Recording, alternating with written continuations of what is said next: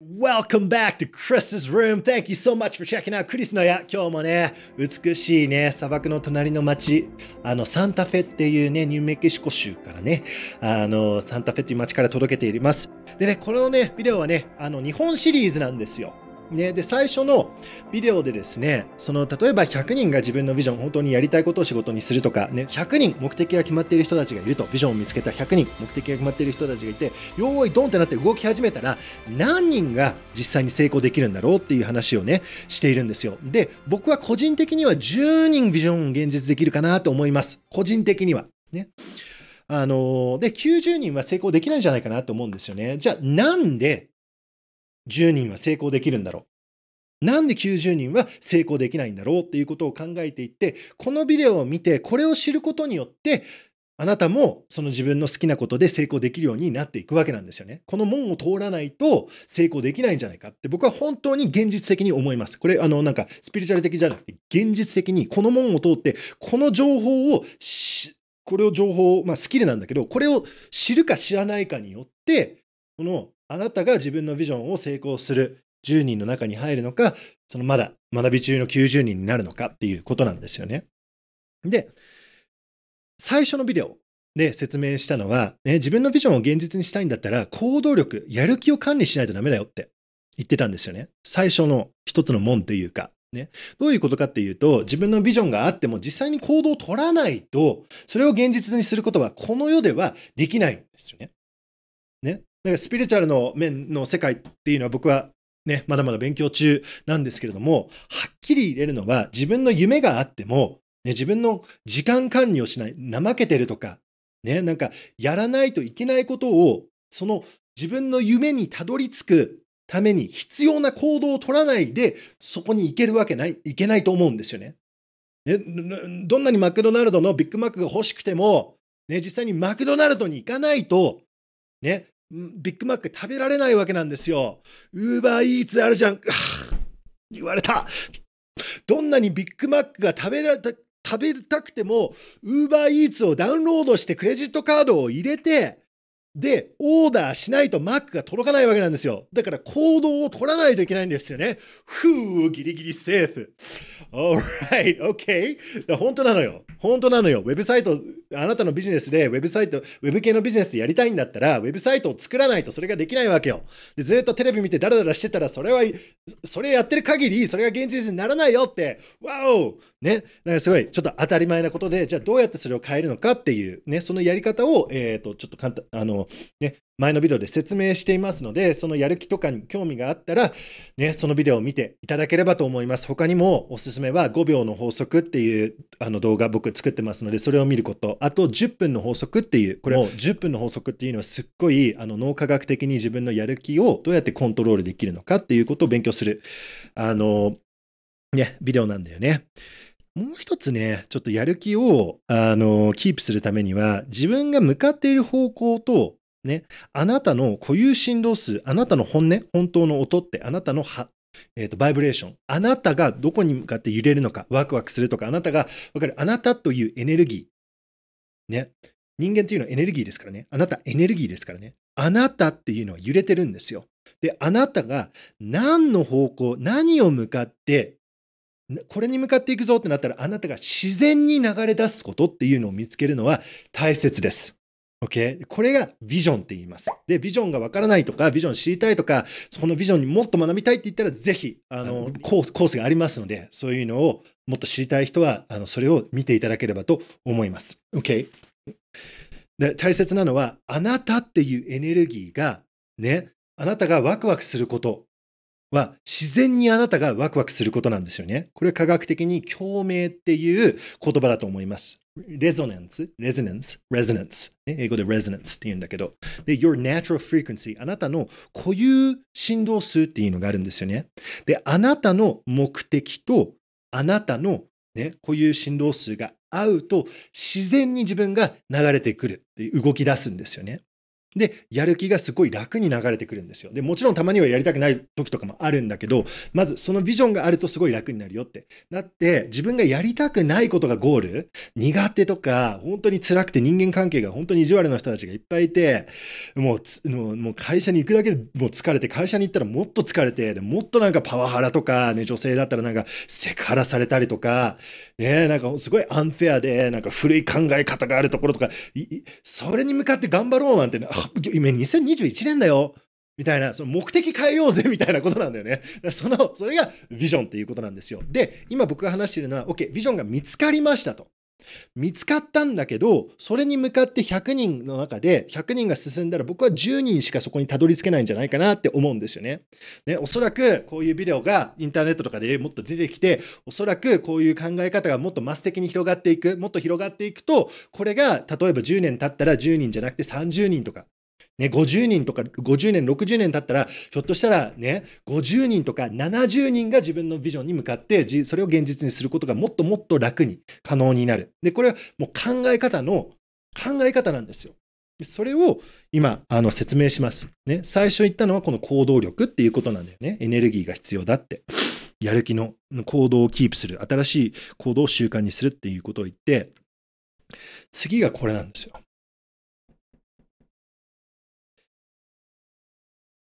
自分のビジョンに向かって進んでいくと、ね、何が起こるかっていうと、壁に当たるんですよ。壁に当たっちゃうんですよ。で、この壁に当たるのがいいことなんだって思える人は成功できるんですよね。で、壁に当たった時に悪いことが起きたってなって、で、このネガティブ、恐怖の方に行っちゃうと、何が起こるかっていうと、恐怖の方が尊敬されるから、恐怖の、ね、パワーがいくから、何が起こるかっていうと、止まっちゃうわけなんですよ。やらない方が楽っていうか、ね、やるのが怖い。止まっちゃうわけなんですよ。ね、で、ね、例えばどういうことかっていうと、自分のビジョンに向かって、ね、ああ、私はこういうのやりたいんだ、アクセサリー、ね、アクセサリーを、ね、販売して、ね、で、今本当になんかね、毎日1日1時間は勉強できていて、本当にこのアクセサリーをウェブで販売するって、で、私のアクセサリーには、なんか魔法の愛じゃないけど、幸せビームみたいなのが本当に入ってる。そういうアクセサリーマジあるからね、お守りとかあるでしょ？ね、日本の方はわかるよね。これ、アメリカで言うと何言ってんのこいつみたいになるんだけど、日本の方はわかりますよね。これはこの、この、この、ね、偉いお坊さんからのお守りだよって。言われたら300年前のお守りだよみたいな、おおみたいな、これちょっとちょっとちょっとちょっとちょっとってなるじゃん。で、わかる。パワー、アクセサリーにパワーを入れるっていうのは全然本当のことだからね。うん。忘れないでね、そういうの、そういう存在を忘れないでね、僕たちたまになんか仕事だけになってそういうね、フォースの話とか忘れちゃうからね、ガイディングフォースとかあるからね。OK。で、そういうなんかね、アクセサリーを作ってね、幸せを届けていきたいのとか、ね、そういう、ね、夢を持っている、ね、奥さんがいるとしましょう。で、その奥さんには、ね、子供が2人いるんです。ね、で、ね、奥さんと旦那さんがいて、で、その奥さんと旦那さんが、旦那さんのご両親にのお家に遊びに行くっていうことになりましたね。だからその子供のおじいちゃんとおばあちゃんのお家に行くっていう感じなんだよね。で、でちょっと子供が遊んでて、ね、その旦那さんがお父さんと話していて、で、この主婦のお母さんが旦那さんのお母さんと話してるわけなんですよ。でちょっとね、なんかちょんちょんちょんちょんってなんかなんか料理でなんか作ってるわけなんですよね、キッチンで。でそしてあんたは最近何やってるの？って言って、ああ、お母さん、私ね、あの、新しい、あの、アクセサリーを作り始めて、それを今ウェブで販売しようとやって頑張ってるのって。何それ？え？え？いや、それをウェブで販売するってやってるんですよ。何？アクセサリーあるの？って。あ、あるよこ。ここにあるの？見てお母さんち。何それ？そんなのにお金、人がお金払うの？って。ブワード触ってきたぞ って。あなたそれより大切なことってあるんじゃないの？あなたはお母さんなのよ。そんなことやっちゃダメよって。お金は旦那さんが稼ぐのよって。あなたそんなのやめなさいって子供、誰が家の掃除するの？誰が子育てするの？って。もっと自分の子供と家庭に時間を投資しなさいよって。そんなの人買わないわよって。それ言われたらどうなるって。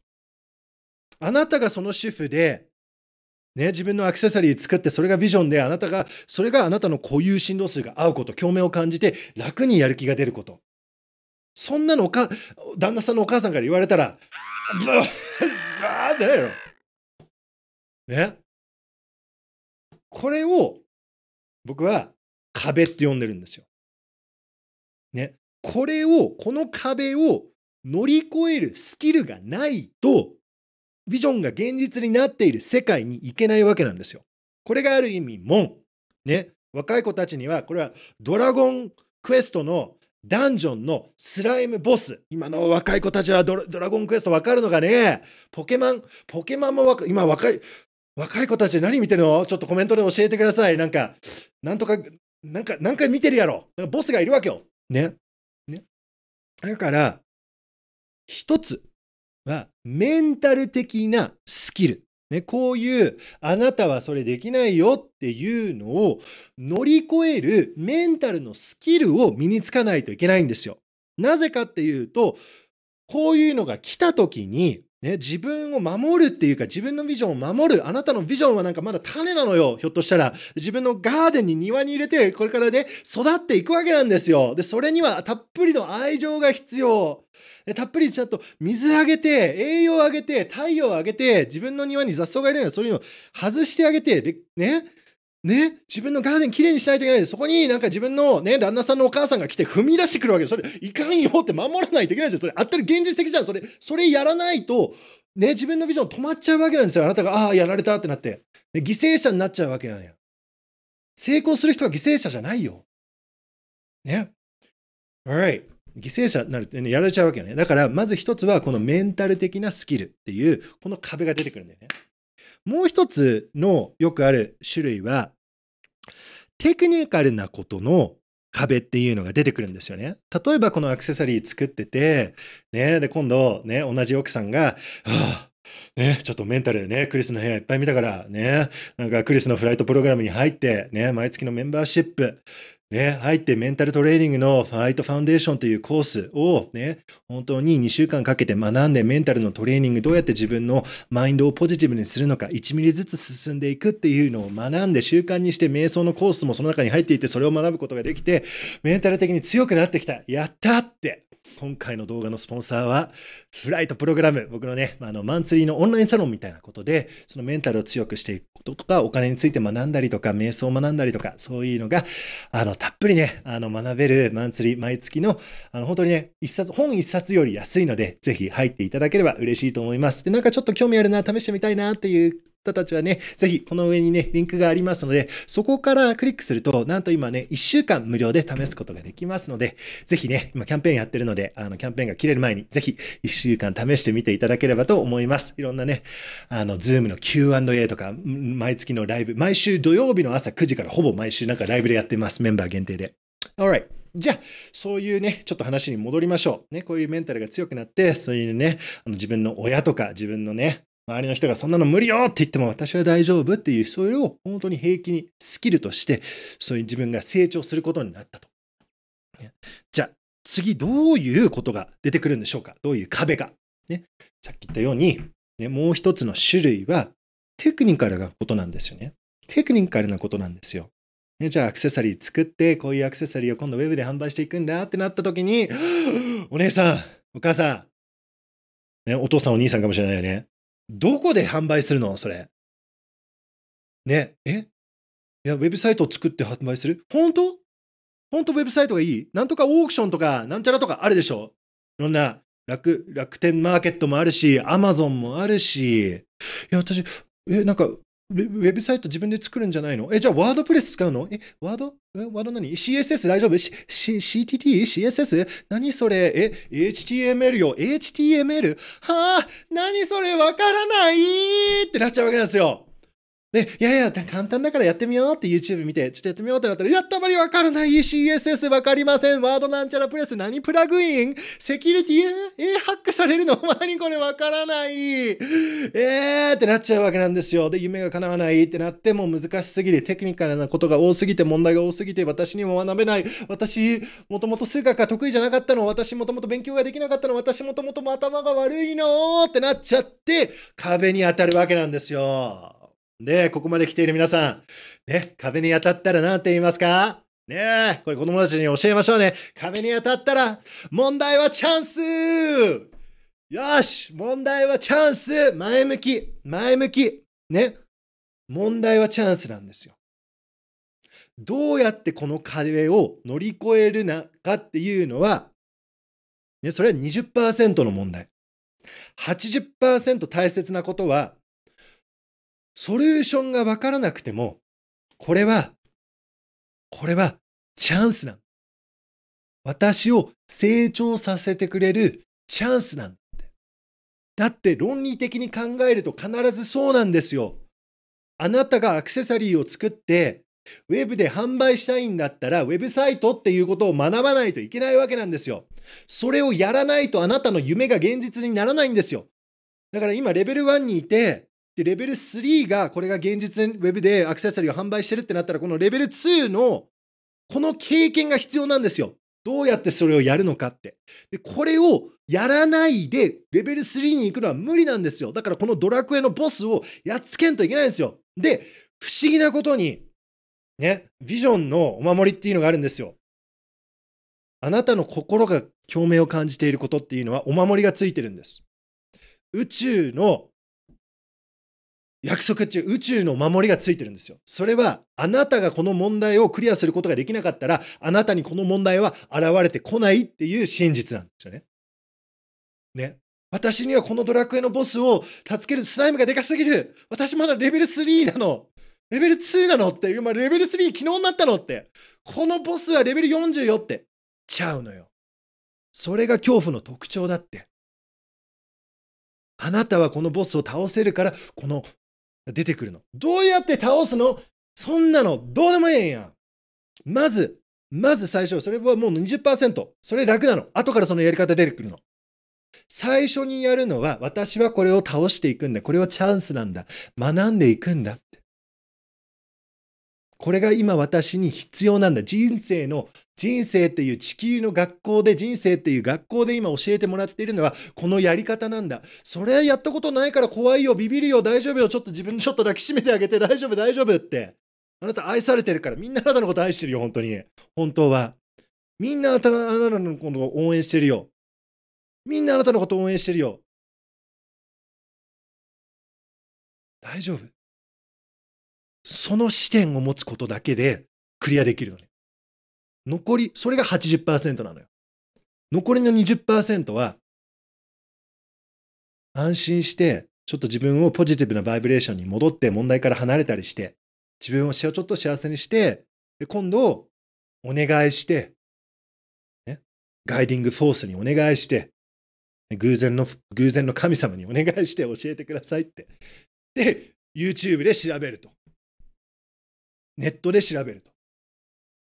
そうすると出てくる本があったり、そのセミナーが、明日どっかでそういうセミナーが東京でやってるとか。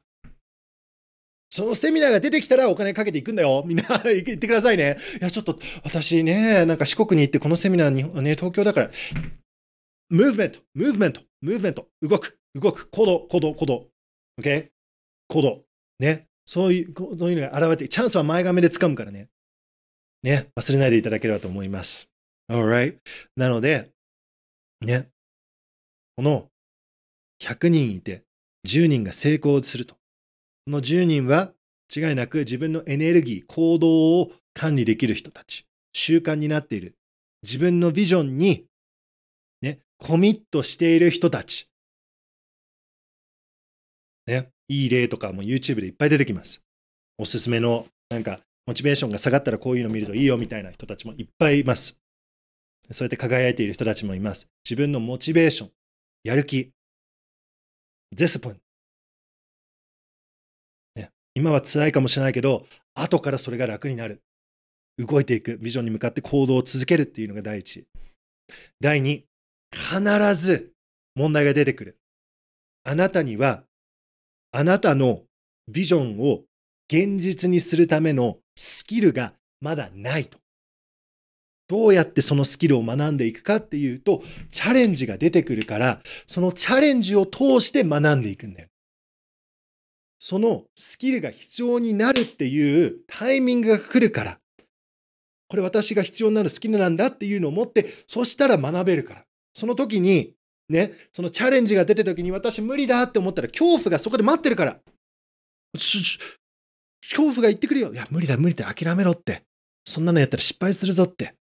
ね旦那さんのお母さん覚えてる？あなたを守ろうとしてるからやめろって言ってたのよ。ねえ、ダメだ、ダメだって。危ない、危ない、ビジョン。この山登りは危ないよ。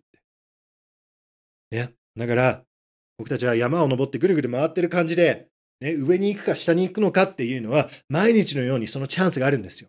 上に行っていくっていうのは、毎日毎日チャンス。愛を選ぶ、ハートを選ぶ。あなたの本当の本当の音、本当のバイブレーション。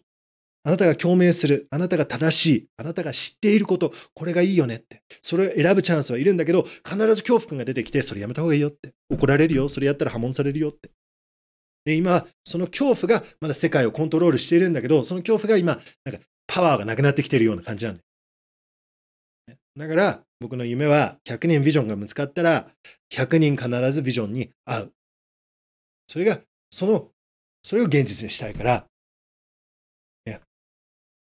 最後に締めとしてですね、僕たちのビジョンを向かって歩いていくっていうところたちに、あの本当に偉大な先輩の方たちがいっぱいいらっしゃるわけなんですよね。それは今、まだこの世にいらっしゃる先生たち、ね、本当にこの辛い経験、辛い、辛い、本当にハードなところから、ね、そういう経験を乗り越えて、そういうチャレンジを乗り越えて、ね、成功した方たちがいっぱいいらっしゃるわけなんですよ。ね、でもちろん、これはあのご先祖様として、ね、今この世にはいないんだけど例えばあの日本にもいっぱい偉い先生とかいるよね。チャレンジがあったんだけど乗り越えた人たちとか、ね、でガンディモハメ・ガンディとか。そういう人たちもそうですよね。あの人たちはモハメ・ガンディはねオックスフォードの大学勉強してたからロイヤー、ね、弁護士だったからそれやらなくてもよかったんだけどサイドラインから見て自分のビジョンをフォローしないっていう形も選べたんだけど、彼はその自分が知っている共鳴を、本音を選んだんですよね。恐怖が目の前にいて、そんなのやったら逮捕されるよってきたんだ。そういう方たちが、こういう道を歩いていらっしゃる方たちもいっぱいいるので、そういう人たちからの応援を、エネルギーを受けることもできる。ね、それは、なんかそういう人たちの本を読んだりとか、もっと勉強したりとか、この人だったらどう考えるんだろうってね、そういうクリエイティブな、自分のクリエイティブな力を使ったりとか。で、この世はまだこれからも何百人、何千人、何万人の人たち、まだ生まれてない人たちかもしれないけど、そういう人たちがこの世に来るわけなんですよね、地球に。で僕たちもそういう一つの例になることもできるんですよ。ね、何を選んでいけるのか。自分が知っている、これが正しい、これが私には本当は合っているっていう、その生き方を選んで。壁は必ず出てくる。恐怖も出てくる。そしたらこれは、このレベルをクリアするチャンスだよねって思っていただければ、にうまくいくんじゃないかなって思います。Thank you so much for checking out this video. また来週ね、あのね、楽しい YouTube のビデオを届けたいと思っておりますので、ぜひ、また次のビデオも見ていただければ嬉しいです。I wish you well. Thank you so much. Love you much. じゃあね。バイバイ。